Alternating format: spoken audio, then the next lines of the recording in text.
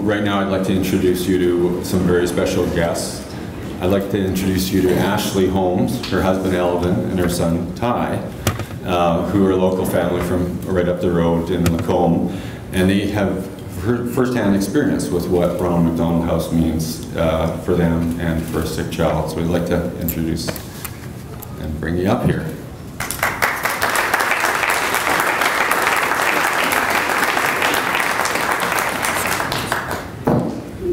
At the age of 23, my life seemed to be going as planned and nearly perfect. My husband Eldon and I had two children, a three-year-old boy, Ty, and an 18-month-old daughter, Zoey. We lived a fairly normal life. I stayed home with the kids and my husband worked. That all changed when our daughter Zoey became ill and in a very short time paralyzed. After seeking medical attention, we decided to take her to the Alberta Children's Hospital to get some much needed answers. 72 hours after arriving in the emergency room and after going from test to test, they discovered what was wrong. May 27, 2008, our daughter was diagnosed with stage 4 malignant germ cell yolk sac tumors. This type of cancer is fairly uncommon and usually attacks the spine, brain, and lungs.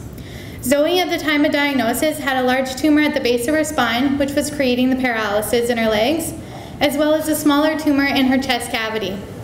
After hearing the news, every emotion rushed through our bodies. And as our lives seemed to be spiraling out of control, Ronald McDonald House Southern Alberta was there for us. They provided a room for us to live in, a place for us to cook, and honestly, a place to call home. But what they didn't know is that they provided us with the best gift of all true friends. Like the majority of families in the house, we became single parents, not by choice, but because our husbands had to return home to work in order to keep our own households going. When we were out of the hospital and at the house, Zoey's immune system was so weak we were unable to go to any public location for fear of her getting sick. This meant a trip to the grocery store or drugstore was generally not possible. The house was great. There was always somebody going to the store that could pick up a few goods for everyone else. Sometimes it would be a father that came for a visit or a family that didn't have an immune suppressed child. Zoey was on high doses of steroids as well as chemotherapy, which when put together makes him crave, unu crave unusual food items. Zoey only really craved two things, bologna and bacon.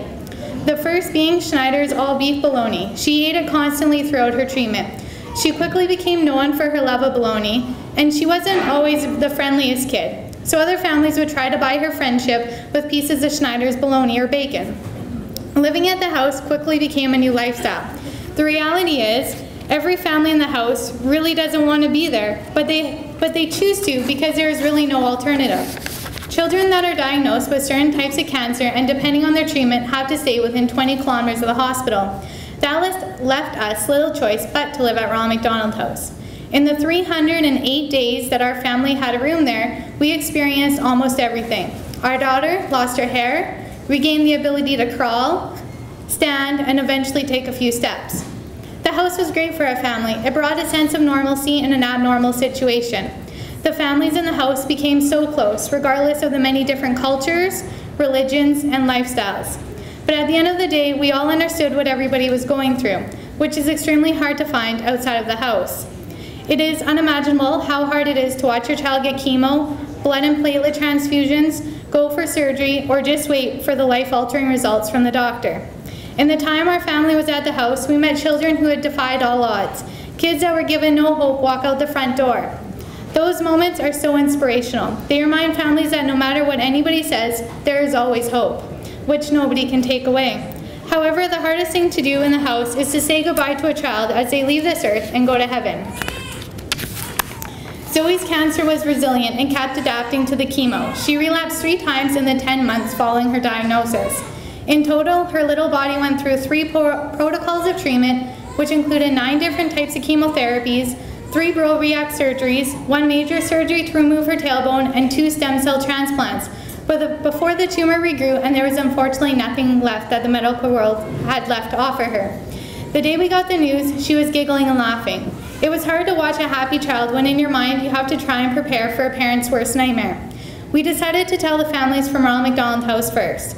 We were amazed. Most of them came that weekend, bringing her gifts, support, and of course her usual baloney. Monday, March 30th, 2009, 48 hours after arriving home from her wish, after 311 days at the Children's Hospital, Zoey Lee Holmes' journey on earth ended.